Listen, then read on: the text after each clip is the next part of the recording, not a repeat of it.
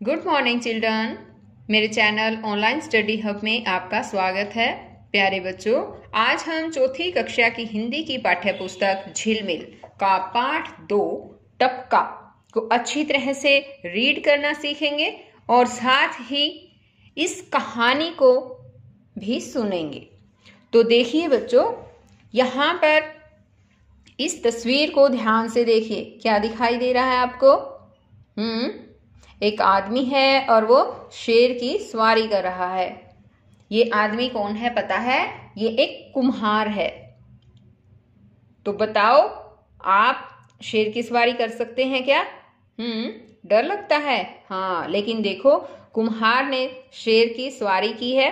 क्या इसको डर नहीं लगा? ये सब हम इस कहानी में जानेंगे। तो सभी बच्चे वीडियो को शुरू से लेकर अंत तक देखना। ताकि कहानी अच्छी तरह से समझ आ सके। और इसका एक और भी फ़ायदा है बच्चों, अगर आप वीडियो को शुरू से अंत तक देखेंगे, अच्छी तरह से सुनेंगे तो इस पाठ के अभ्यास में आए हुए सभी प्रश्नों के जवाब भी आप आसानी से दे पाएँगे। तो देखिए, शुरू करते हैं। एक था धोबी, जिसका नाम धनिया था। वह लोगों के कपड़े धोया करता था।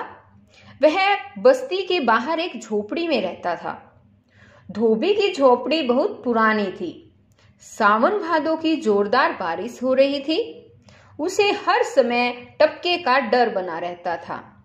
लोगों के कपड़ों पर टपका पड़ जाए तो आई भारी आफत। टपके का दाग धुलता भी तो नहीं।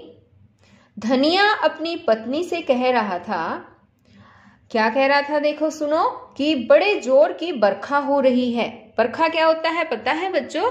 बरखा होती है बारिश। इतना डर मुझे शेर का भी नहीं है, जितना कि टपके का है। यह बात सुनी शेर ने, जो धनिया की झोपड़ी के पिछवाड़े खड़ा था। शेर ने सोचा, टपका तो मुझसे ताकतवर है।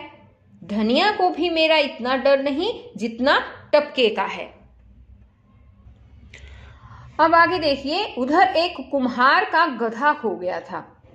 घटा टोप अंधेरा इतना कि हाथ को हाथ भी ना सूझे। इसका क्या मतलब है समझे? इसका मतलब है कि बहुत ज़्यादा घोर अंधेरा था, कि अंधेरे में कुछ भी दिखाई नहीं दे रहा था। कुम्हार अपने गधे को खोजता आ गया, धनिया के पिछवाड़े। अंधेरे में उसका हाथ शेर पर पड़ा। उसने सोचा कि उसका गधा ही खड़ा है। और उस पर चढ़ बैठा और उसके कान पकड़ लिए। कड़क कर बोला, गधे के बच्चे, यहाँ छिपा खड़ा है। तेरी ऐसी गति बनाऊँ कि याद करे सारी उम्र। शेर ने सोचा, आ गया टपका, अब खैर नहीं, वह सरपट दौड़ा। कुम्हार ने मन ही मन सोचा, यह गधा मेरे गधे जैसा तो नहीं है, वह तो मरियल सा था। लेकिन यह तो मोटा ताज़ा है। बिजली की तरह दौड़ता है। खूब हाथ लगा। शेर जंगल की तरफ़ दौड़ा जा रहा था। सहसा बिजली चमकी। कुम्हार ने गौर से देखा। यह देखकर उसके तो होश उड़ गए कि वह गधे पर नहीं, शेर पर बैठा है। उधर शेर था कि तेज़ी से भागा चला जा रहा था। अजीब बात थी कि शेर कुम्हार से डर रहा था और कुम्हार शेर से। कुम्हार सोच रहा था, कैसे जान बचे? रास्ते में एक बरगद का पेड़ था। उसकी दाढ़ी धरती पर लटक रही थी। शेर जब बरगद के पेड़ के नीचे से गुजरा तो कुम्हार ने उचक कर बरगद की दाढ़ी पकड़ ली। शेर को अपनी पीठ हल्की लगी तो उसकी जान में जान आई। वह और ज़ोर से भागा। वह डर रहा था कि कहीं टपका फिर ना आ दबोचे उधर कुम्हार सोचने लगा कि वह छिप जाए बरगद की खो में। उसने बरगद की एक खो खोजी और छिपकर बैठ गया। वह सोच रहा था कि रात यहीं काट लूँ। बरगद पर शेर चढ़ नहीं सकता। तड़के उठकर घर चला जाऊँगा। उधर शेर था कि भागा ही जा रहा था। उसके दिल में टपके का भय बैठा हुआ था। आगे उसे बंदर मिला। शेर की इतनी बुरी दशा देखकर बंदर ने कहा, मामा मामा, क्या बात है? कहाँ भागे जा रहे हो?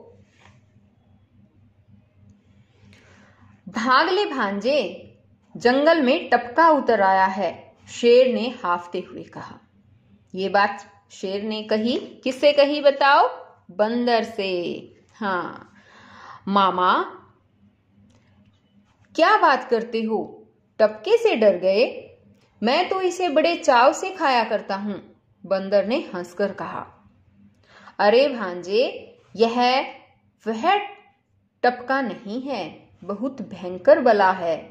मेरे कान ऐसे ज़ोर से पकड़े कि मुझे नानी याद आ गई। शेर ने गहरी सांस लेकर कहा, मामा दिखाओ तो सही, कहाँ है वह टपका? बंदर ने पूछा।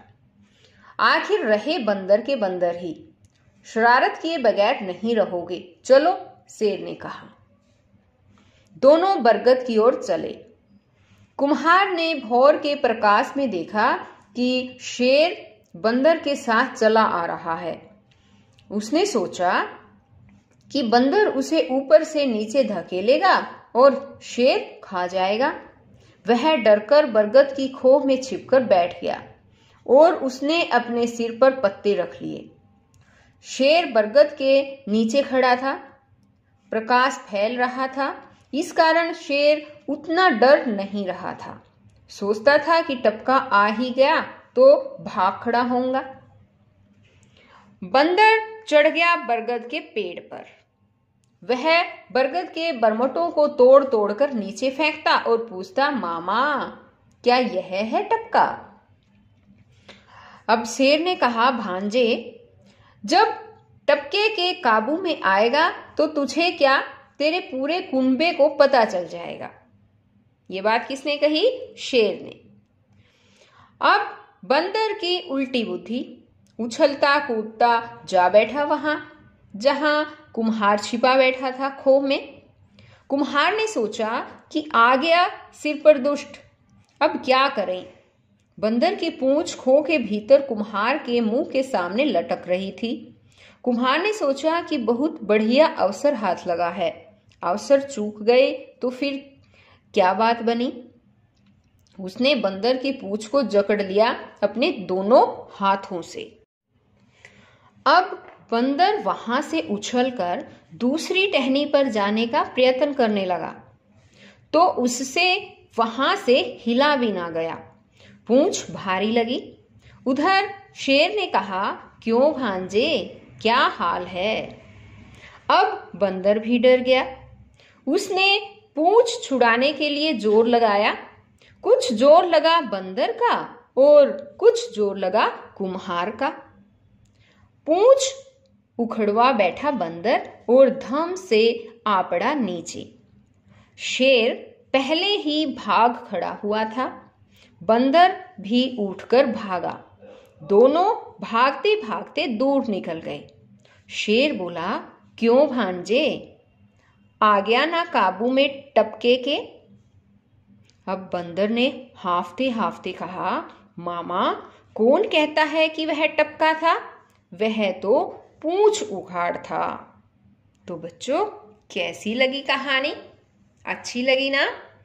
इसको शुरू से लेकर अंत तक आपको देखना है, ताकि इसमें जितने भी अभ्यास में आने वाले क्वेश्चन आंसर है, जैसे कि ये देखिए, इन सभी क्वेश्चन आंसर्स के आप आसानी से जो है आंसर दे पाए।